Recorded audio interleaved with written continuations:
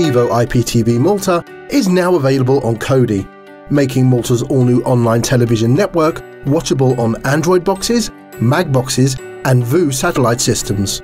An ever-growing lineup of brand new local channels not available anywhere else. Evo IPTV was formed to create the complete online IPTV platform for everybody. The situation was we wanted our own TV channel. The fact was putting a channel onto a satellite broadcaster was too much money. There are thousands like us, so why not create a channel platform for everybody?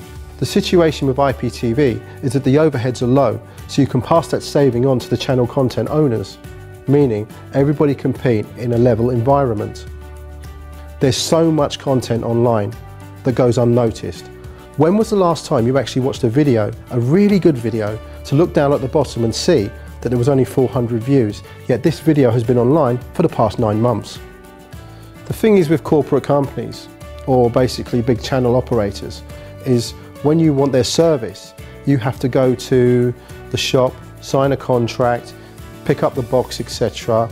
You know, then you have to return that box back to them after it's all too much. Today, the devices that show these IPTV channels are already in everybody's hands. I'm talking phones, laptops, tablets, um, Macs, televisions at home through Android boxes or smart TVs. So why not utilize all the devices already in the hands of the people? Basically, it's simple. Bring an app to market that holds everything in one place.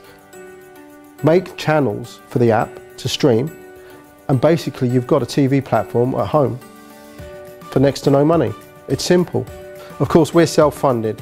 The app is already online. You can download it from iTunes, you can download it from Google Play, etc. It's free. Go ahead, download it, have a watch.